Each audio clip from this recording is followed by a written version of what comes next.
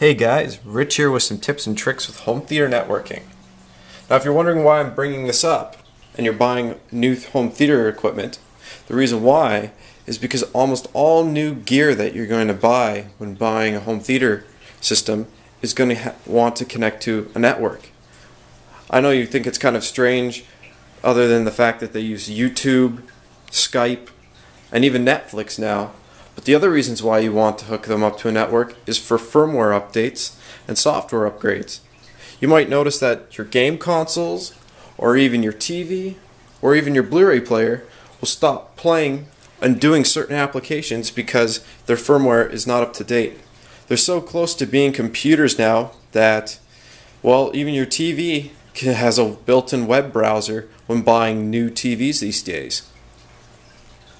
So, some tips that I would say are if you can, try and put your router as close as you can to your home theater gear. With me, since we almost all in this household use laptops now and or, or iPhones, what I've done is I've put the router actually at the TV and I hard lined everything there because 90% of the streaming we do, which requires a lot of bandwidth, is through the home theater gear.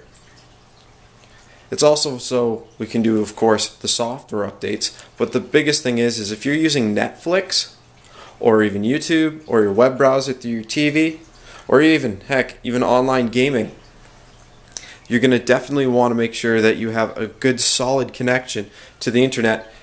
Yes, you can hook them up through Wi-Fi, but there's nothing better than hardline. You just have so much more consistency with speed. You don't have to worry about any dro- anything dropping out when you start up the blender, the microwave, or anything else. So, some uh, tips and the reasons why I'm bringing this up, of course, is say you have your Blu-ray player, you just picked it up, you throw in a Blu-ray disc. It's saying to you, you know, I can't play the disc. It doesn't recognize it. The software that is on the disc usually it says encoding. Well, your problem is now is you need to hook it up to the internet, but it's not only that, you also want to see the visual, so you have to hook it up to your TV. That's why it's always a lot nicer to have a router near your home theater gear. You don't technically have to have all your stuff plugged in all the time.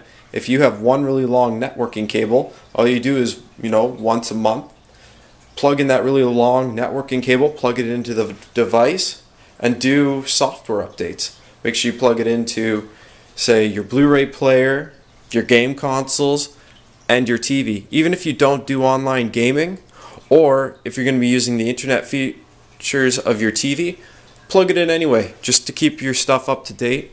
Because who knows, with newer firmware, you might get a better options with your TV, or you might get better picture with your Blu-ray player, or with your game consoles, it redoes the interface and allows you to play different formats of discs but also, say if you have jump drives with pictures and stuff on it, it allows you to stay up to date with the new formats so your devices can play the different formats your pictures are in and your movies.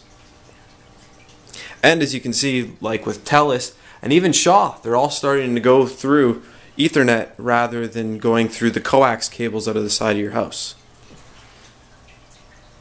So that's as far as I'll pretty much go with the networking portion as I'm not fully in on the whole networking portion of computer systems and whatnot. I just thought I'd give you the reasons why you should plug your devices in. Alright, have a good one.